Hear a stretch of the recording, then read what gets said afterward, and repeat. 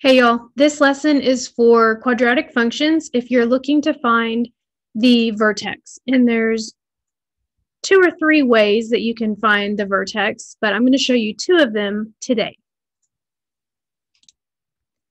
In the transformations of functions video, I ended on introducing vertex form. And so you'll see on this page one of the examples that we did when we were transforming a quadratic function. We have the parent function on the left and the transformed function on the right.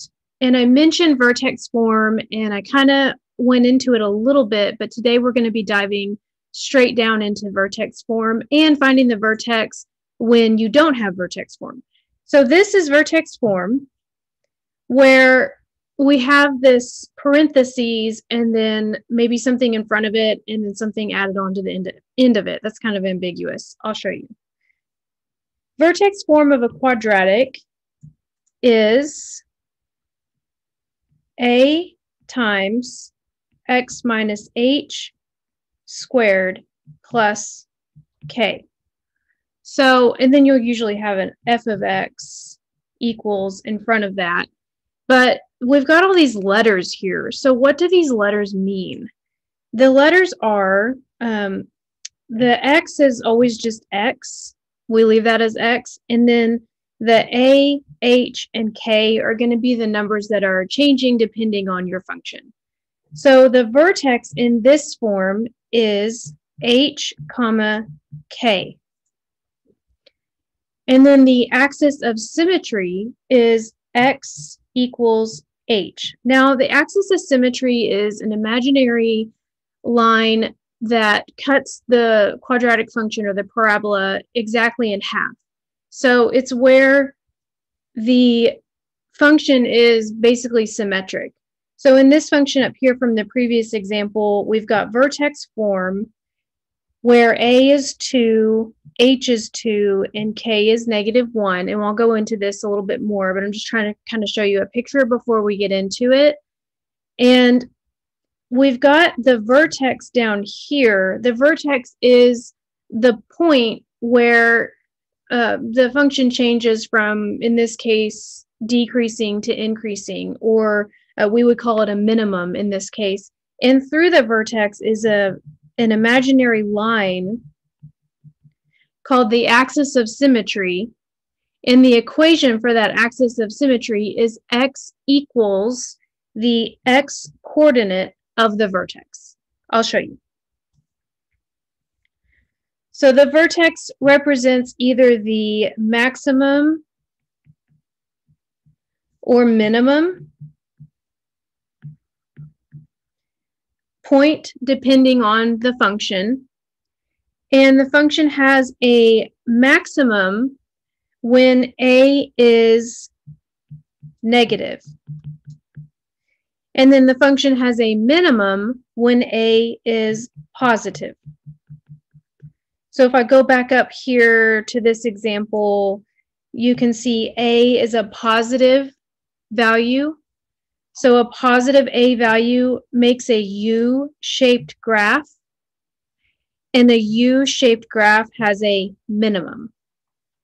If this had been negative 2, then we would have an upside down U, and it would have a maximum. So we can um, quickly sketch these graphs. We've got, I'm going to do a uh, coordinate plane, just kind of sketch it here. We've got our y-axis and our x-axis. And then we know that the parent function of x squared is a u-shaped graph. So negative x squared is going to flip it down. It's going to be upside down. It's kind of like a cup. And then we're going to flip that cup upside down. And I'm just sketching it. I don't have exact values, but Actually, I'm going to do this in a different color so you can actually see it. Go down like that. If you're unsure about how to do that, you can always do a table of values where you just pick a couple x values and then we're going to square them and make them negative. And so that's where these uh, negative y values come from. This negative outside of the x squared is what makes the y values negative. So you might also see this written as negative x squared like that. So we're squaring x first and then making it negative, which is what flips it. And then the graph of x squared is the positive y values. This is our parent function. And it's just going to be a U-shaped graph. Mine got a little off, but you get the point. And then if we did a table of values, we would have 4, 1, 0, 1, 4. I ran out of room, but we've already covered that. So I'm kind of going quickly. The axis of symmetry cuts the graph of the function directly in half. It is an imaginary vertical line of symmetry. We've already talked about this a little bit. I jumped ahead. I got excited. That goes directly through the vertex. A vertical line passes through the um, x coordinate of the vertex. And you can find the x coordinate of the vertex if, if the function is not already in vertex form, then you can find it using this formula. So we have two different scenarios here. We have a scenario where the function is in vertex form, and then we have the scenario where the function is in standard form. And depending on which form is given to you, you can decide, you know, which way you want to find the vertex. Now, one of the ways I said I was going to show you two, two of the three ways. The third way is by looking at a graph. So if you wanted to graph these, you could find it that way. I guess there's four ways because you could also look at a table of values. But I'm just going to show you more specifically, I'm going to show you the vertex form and the standard form. So when it is in vertex form, like in this example here, then we have, if we write out our vertex form, we have uh, a times x minus h squared plus k. And hopefully you can kind of see, um, there's no a value, so it would be an understood 1 right here. But our vertex is h comma k. So we're using that we know, you know, we know that the vertex is hk, and we also know the generic form of vertex form. It's weird. Um, but h and k line up with vertex form. But you might notice that our vertex form has minus h in it, and ours is a plus.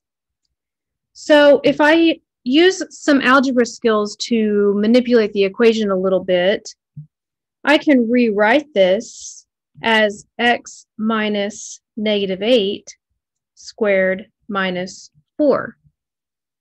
And now we have it in our generic vertex form. And we can easily see that h is negative 8 and k is negative 4. So our vertex is negative 8, negative 4. And that's it. That's all at once. And then for the axis of symmetry, the axis of symmetry is an imaginary line that goes through the x coordinate of the vertex. So the x coordinate of the vertex is negative 8, which means that our axis of symmetry, zoom out, is a vertical line. So if we're going to describe the vertical line, we'll write it in a linear equation. x equals the x coordinate of the vertex. And if you'll remember from linear equations, this is an equation of a vertical line. So we would go to the x-axis, draw a dotted line at x equals negative 8, and that would go through the vertex, and it would cut our graph directly in half. So I could graph this in a calculator, graphing calculator. I'll just do it. I'll just show you we have x plus 8, close the parentheses, squared minus 4. And then if I graphed it, I'm going to zoom out so we can get a better picture here. We can see hmm, you can see the parabola and uh, at negative 8, negative 4 is where the vertex is. And if I drew an imaginary line through x equals negative 8, that's going to cut the parabola directly in half. Exactly in half, I guess I should say.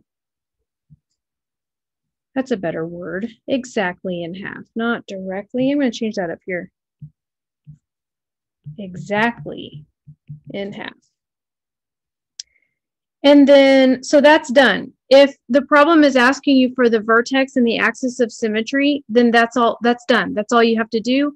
Uh, if you're graphing a quadratic, then you can use this to help you set up your table of values. You'll notice up here that I kind of used zero as my center, but I did that because I knew it was going to be the vertex. So if I had used these x values on this function, I'd only get one side of the graph. So this vertex is showing you kind of the middle, not kind of, it is the middle. And that middle is going to help you set up a table of values so you can figure out what your graph looks like. So if you were going to do a table of values for this function, you could find the vertex, and then when you set up your table of values, that's going to help you decide which x values you want to use.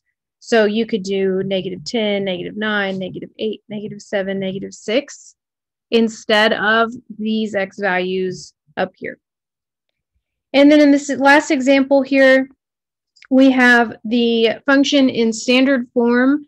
We can get this in vertex form, but we haven't learned it yet, but we will very soon, which I love. It's so fun. Um, but if you don't want to do that or you don't know how to do it, then instead of getting it in vertex form, you can use this formula up here. Oops, wrong tool. There we go. Where the x coordinate of the vertex is found by negative b over 2a. Now, what is b and a? Where are we getting b and 2a? What is that from? If you'll remember from standard form, standard form is ax squared plus bx plus c. So a is the number with x squared, b is the number with x, and c is the constant. In this case, a is 1, b is negative 2, and c is negative 5. Now in our vertex formula, we don't actually need c. When we learn the quadratic formula, you will need C, but not in this case. So we're going to focus on these two values. The x coordinate of the vertex is found by negative b over 2a. Now, this is also the axis of symmetry, the equation for the line of the axis of symmetry. So we're finding two things at once. Yay. so we just plug in our values. We already found A and B from our standard form, and then we just plug it into the formula. Negative B over 2A. Then we simplify, and we get 1.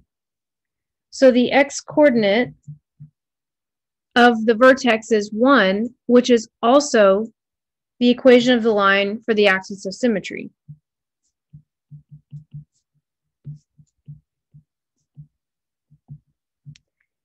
Now, we have the x coordinate of the vertex. It's a vertex is a point. So I need to find the y coordinate. If I have x, how can I find y with that.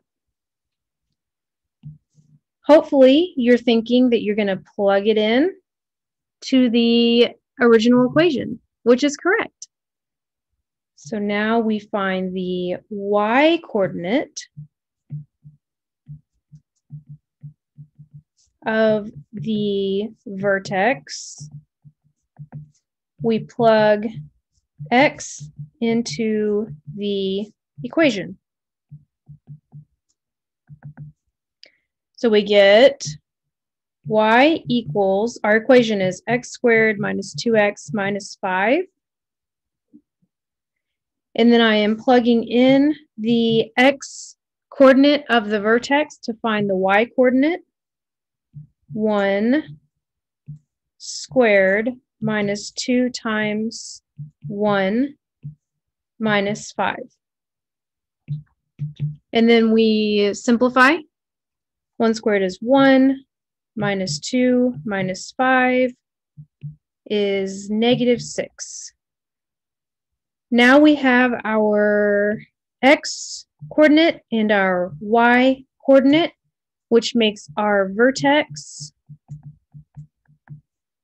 1, negative 6, and our axis of symmetry, x equals 1. That's all. That's all at once. And if you are allowed to use a calculator, which in my class you are, if you have the x coordinate, then you can use your table of values feature in your calculator to find the y coordinate. So you don't have to go through this step. I would encourage you to at least do it a couple times so that you know where it's coming from and you understand why it is that way. But uh, in the future, like if you're doing a test or you're trying to do something quickly that's timed, then you can use your calculator. So I will show you that.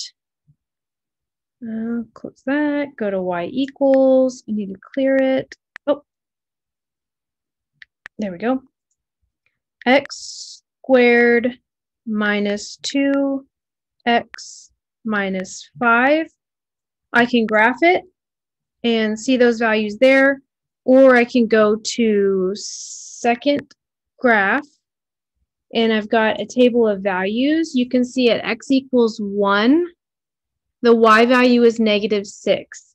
And you'll also notice if you look at those y values, they go 3, negative 2, negative 5, negative 6. And then what happens?